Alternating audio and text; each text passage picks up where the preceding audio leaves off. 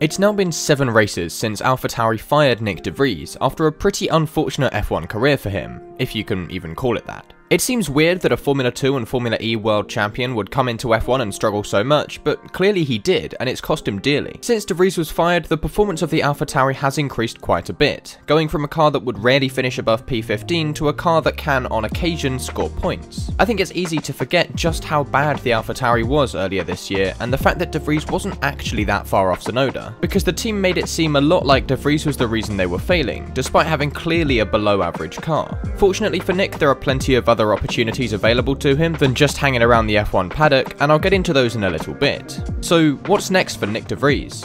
Well, before we get into that, let me tell you about today's sponsor, NordVPN.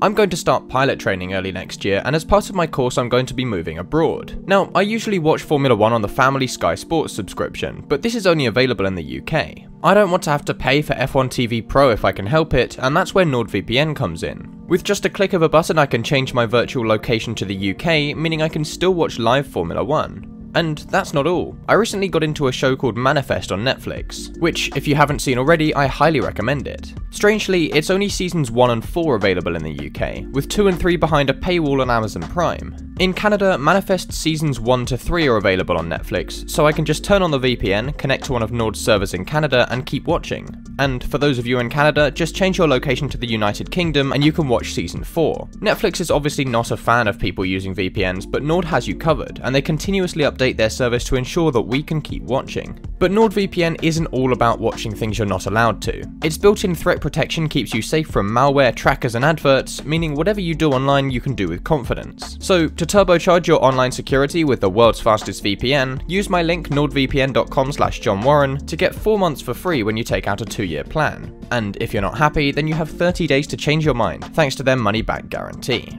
You literally can't go wrong.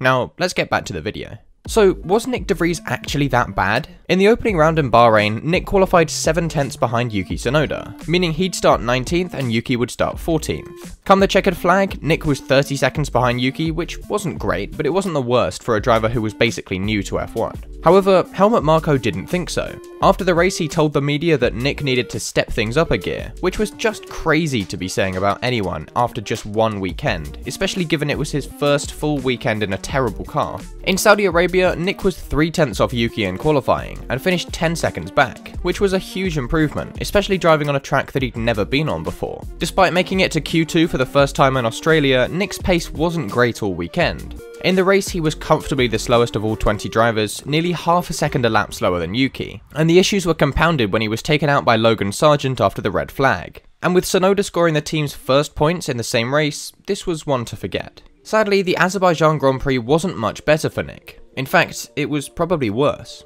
He crashed out of qualifying for the Grand Prix, qualified last for the sprint, 7 tenths back from Tsunoda, and crashed out of the Grand Prix after just 10 laps. Not his best work. Oh, and Tsunoda scored points again. In Miami, Nyck outqualified Yuki by one tenth. However, in the race, he was on average three tenths a lap slower than Yuki, meaning come the checkered flag, it was Tsunoda 11th, De Vries 18th. At this point, questions were starting to be asked, and arguably it was right to do so. This was a proven race winner and world champion, struggling in Formula 1 after an impressive debut the previous year. Don't let the result in Monaco fool you. While Nyck finished ahead of Yuki, he was running behind him for most of the race, and would have finished there as well were it not for Yuki having a braking issue in the last few laps, which cost him loads of places including the one to De Vries. To cut a long story short, after Monaco Nyck didn't finish ahead of Yuki again, and by the summer break he was out of a job. Was he really as bad as people make him out to be? No, of course he wasn't. He did just as well as any F1 rookie would have done in a terrible car, and while he was no Lewis Hamilton, he was hardly as bad as Nikita Mazepin was. So for me, I think firing him so soon was unfair.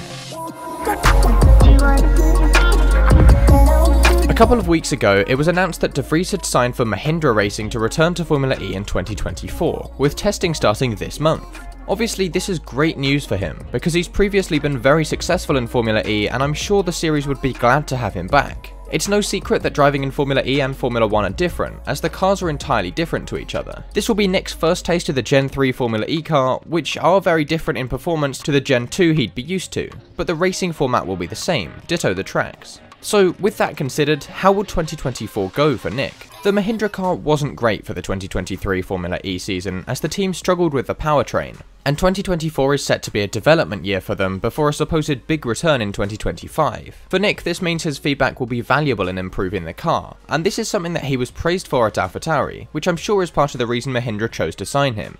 In the past, Mahindra have been a solid upper midfielder in Formula E, but they've slipped back in the last few years and they've been a backmarker team for a while now, with their worst season ever coming this year when they finished 10th in the championship, only ahead of ABT Cupra. With no regulation change between years, it's hard to see Mahindra becoming a top team in the off-season, and so if you're a Nyck De Vries fan, prepare to be disappointed. Commenting on his new contract, De Vries said, I'm particularly excited about the future plans for the team. The basis is already strong, and the team has all the attributes to succeed. I believe going forwards we'll be able to extract even more potential from the project and the organisation, so to be a part of that process was very appealing to me. Coming back to Formula E will feel like coming home. I've been part of the Formula E family for three seasons, I know everybody very well. I'm looking forward to being back in a familiar environment, and to be back somewhere where ultimately I've always enjoyed my racing. It's clear then that Nyck has his sights set on a long-term future with the team, which will hopefully bring him and them to the front of the grid. But if Formula E doesn't go to plan, then another potential racing series he could move to would be the World Endurance Championship. In fact, he had signed to race for Toyota Gazoo Racing this year, driving WEC's fastest car, and there were rumours floating about regarding a seat in 2024 after he lost his F1 seat. In the past, De Vries has been fairly successful in endurance racing, taking 3 wins in the LMP2 class, 2 in ELMS, and 1 in WEC. I'm sure if he wanted to step away from Formula E, there would be plenty of endurance teams who would want him in their lineups. And what about Formula 1? Is there a chance we could see Nyck De Vries back in the sport? Well, I don't really think so. Well, not entirely his own fault, I think the AlphaTauri situation has done too much damage to his reputation in the sport. And while he has previously been linked to Mercedes, Williams, Aston Martin and McLaren, I don't think there will be a spot for him at any of those teams because they all seem to be pretty happy with their current drivers, and in the case of Williams and Mercedes, they have a good selection of drivers in F2 and F3 who would probably be more likely to get a contract if one came up. Of course, these things change quickly in F1, and while today there's nothing available, tomorrow something else might be the case. But for now, I think Nyck De Vries has a secure future in Formula E, and given his past success, I'm sure he'll eventually return to winning, hopefully taking Mahindra with him to the top step. I'm sure the way that things played out for him in F1 will have knocked his confidence a lot, and so we may find that Nyck takes a little while to find his feet again in the sport. But after all, form is temporary while class is permanent, and the fact he struggled in F1 but succeeded in Formula E doesn't necessarily mean the drivers are worse in Formula E. They're just different cars, and so drivers will naturally be better at driving one than the other. But what do you think the future holds for Nyck? Will he stay in Formula E, or is there something else on the horizon for him? Let me know in the comments. Thanks to NordVPN for sponsoring, and if you want to see more from me then make sure to subscribe if you aren't already. And as usual I'll try to respond to all your comments on the video. Thank you for watching, and I'll see you all later.